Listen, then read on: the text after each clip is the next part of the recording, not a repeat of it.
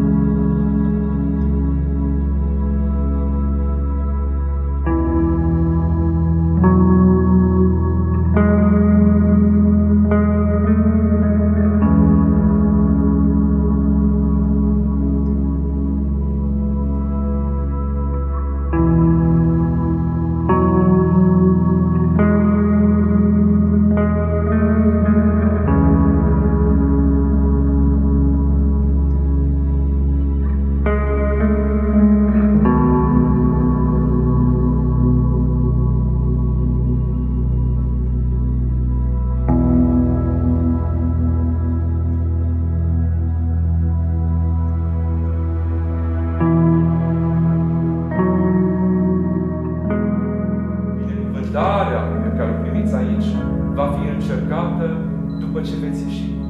Dar dacă aveți nădejde și credință, și mai ales dacă aveți dragoste între voi, față de cei din jurul vostru și față de Bunul Dumnezeu, veți sfârși peste toate ispitele vieții. De ce?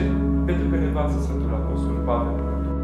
Bunul Dumnezeu să vă ajute, să vă ocrotească și să aveți o viață binecuvântată alături de cei dragi ai